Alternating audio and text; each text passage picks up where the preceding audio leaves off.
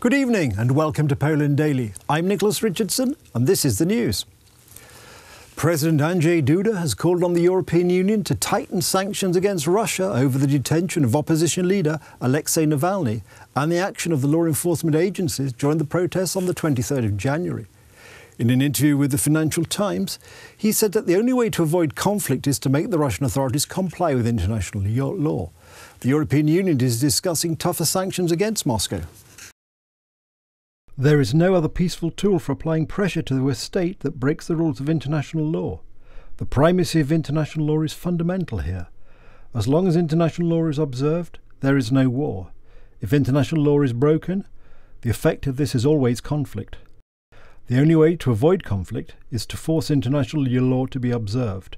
The only way to do this without rifles, cannons, and bombs is via sanctions. So we are ready to help build consensus on this issue. The Polish Minister of Foreign Affairs, Professor Zbigniew Rau, has demanded that the European Union High Representative for Foreign Affairs, Josep Borrell, should reconsider his upcoming visit to Moscow. The European Union Summit of Foreign Affairs ministers discussed the case of the jailing of Russia's Alexei Navalny, but failed to reach any decision.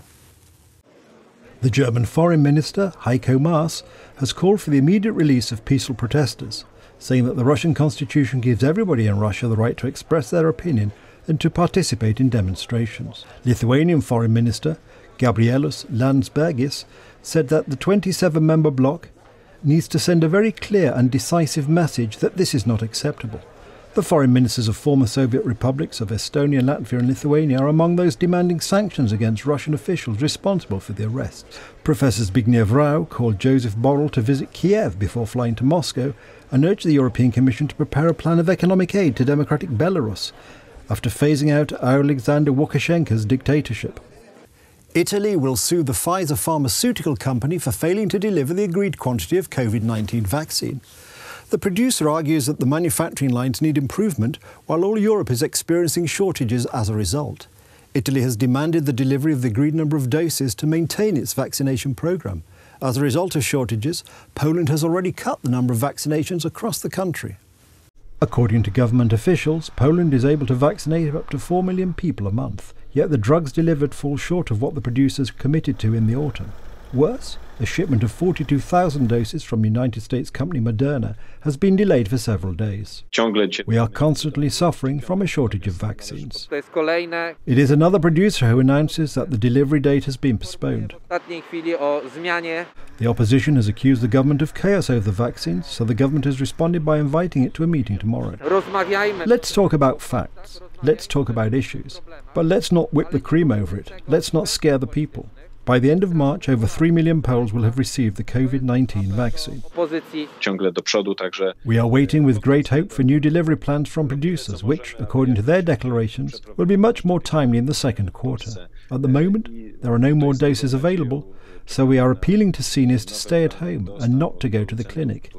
Instead, use the hotline, send a text message, or register online. Today, there are no queues in front of clinics. These lines, if any, are directly for vaccinations, not for registration.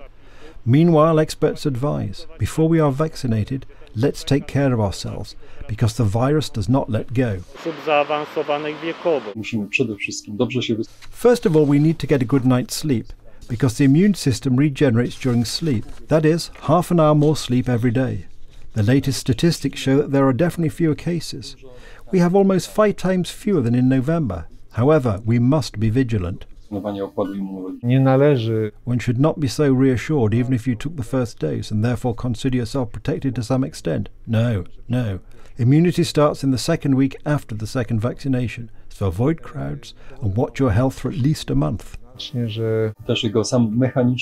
Then, even when an infection occurs, we increase the chances of such an asymptomatic transition and no severe complications, where the virus will multiply faster than our body removes it. Will there be changes to the vaccination schedule? The government will discuss with the opposition tomorrow morning what the national immunisation programme should look like in order to return to normal as soon as possible.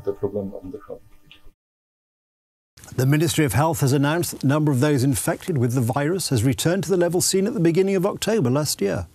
The ministry reported 2,419 new infections and 38 deaths.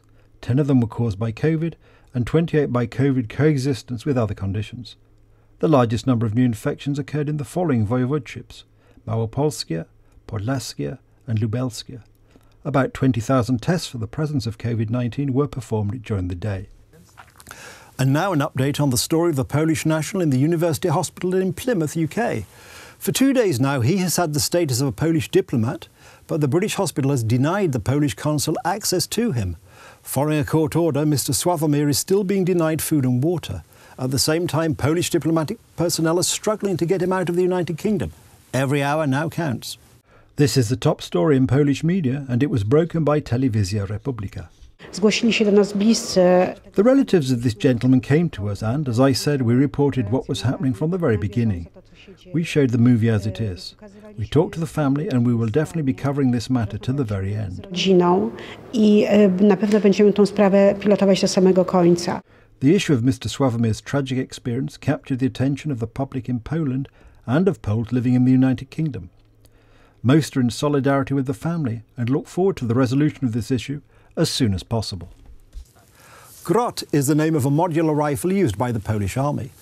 The quality of this weapon has been questioned today by the Onet.pl, the most popular internet portal in Poland. Its owner is the German Swiss concern Ringier Axel Springer. The rifle's producer refutes the allegations and journalists see a fight between German media supporting a German manufacturer against its Polish competitor in arms exports. Onet has published three texts in which it criticises the quality of the Polish rifle by comparing it with the product of the German concern Heckler & Koch. According to the authors, the Polish rifle is susceptible to rust, its parts break down, and the whole thing endangers the safety of soldiers.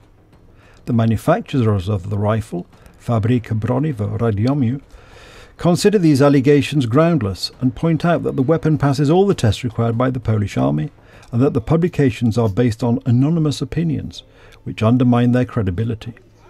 Grot rifles are constantly being improved, and the Polish army already has 43,000 pieces of this weapon.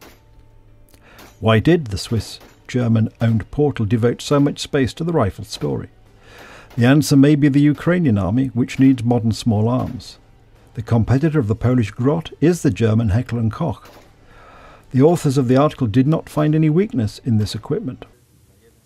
That's the news. Thank you for watching. Stay with us for the weather, Poland Daily Business, and more programmes. But from me, it's have a good night and a better tomorrow.